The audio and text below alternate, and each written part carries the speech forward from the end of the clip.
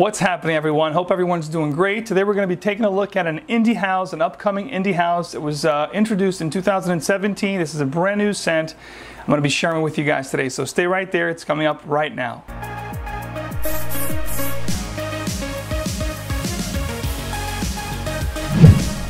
All right, so the house we're going to be taking a look today is a house called January uh, Scents Project. And January Scents Project is a project of a writer slash painter and this particular guy, his name is John Biebel. He works for Fragrantica. He's been writing for Fragrantica since 2017. And the fragrance we're going to be looking at today is Ade Rantler. This right here, Eiderantler, is a 2017 release, a great green fougere fragrance. Let's get more into this fragrance in a minute, but first, let's tackle the presentation. All right, ladies and gentlemen, let's talk about the presentation of Eiderantler. So this fragrance here, as you see, the box is very reminiscent of, what I like about these boxes, first and foremost, is that this is a glossy feel, much like the uh, Costume National boxes. You have your information here in the back about the scent itself, the company ingredients, and all that good stuff. This is, again, a January Scents Project box. And what I love about this scent also, you have this um, more dramatic feel to the scent. It's green and black and it's a painting. Uh, the art here is also a work of John Biebel.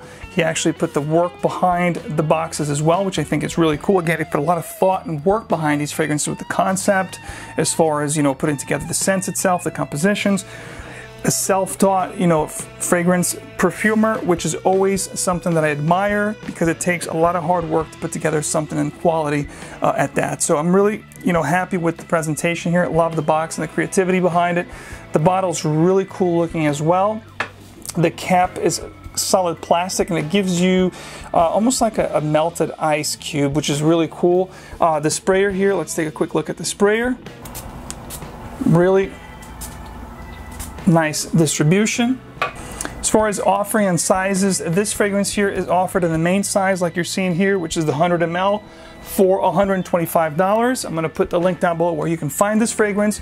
And also I'll have a code for you so you guys can get a discount if you wish to pick up a bottle.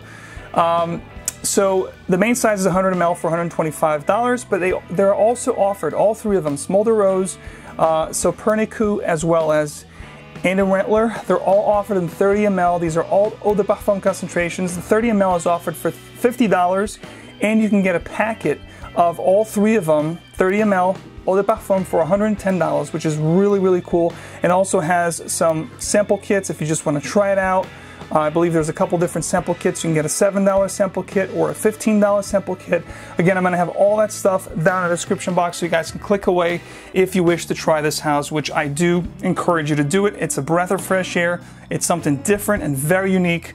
If you like, again, like this particular fragrance, let's get into it right now. I'm going to tell you guys exactly how much I like and what do I get from the scent. Let's go. So as you saw from the presentation, this is a very artsy type scent. Uh, if you like green aromatic fougere fragrances, you absolutely love this fragrance.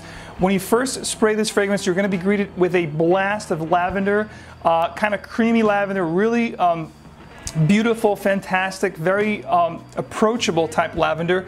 If you like Pour un homme de Caron, you will love this fragrance. This is in the same vein. It's going to have that 80s and 90s powerhouse of type lavender, especially if you like barbershop feel fragrances.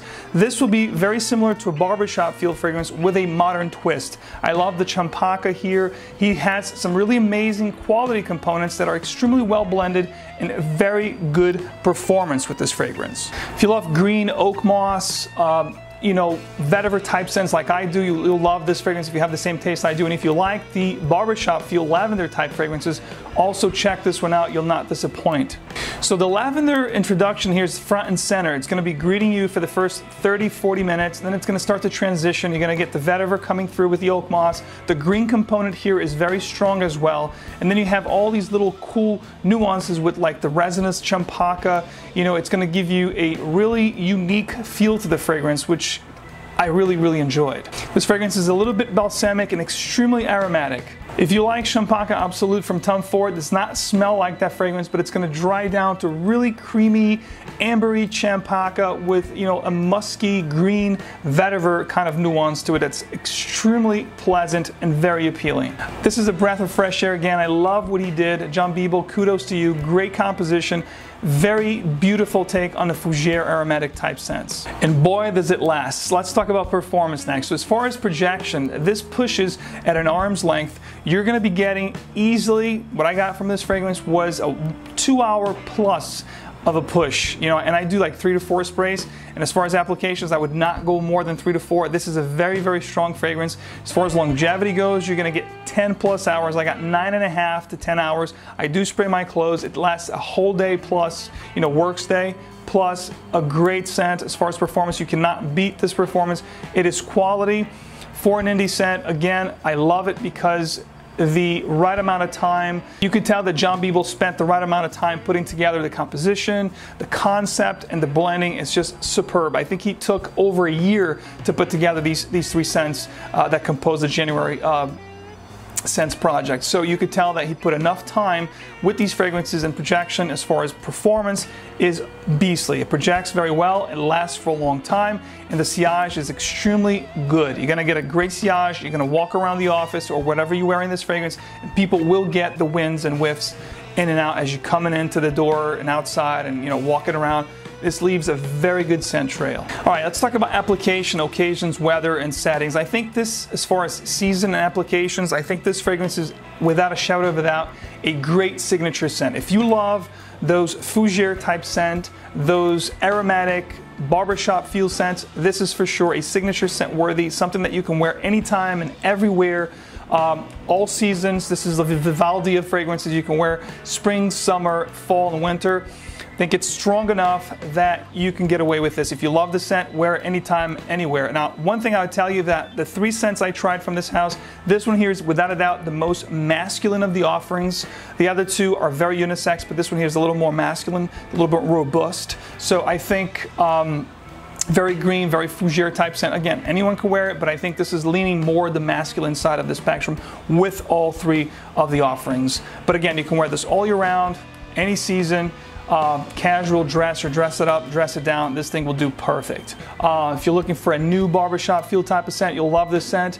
Uh, as far as applications, I do two to four sprays. I don't do more than four because I know this is very powerful.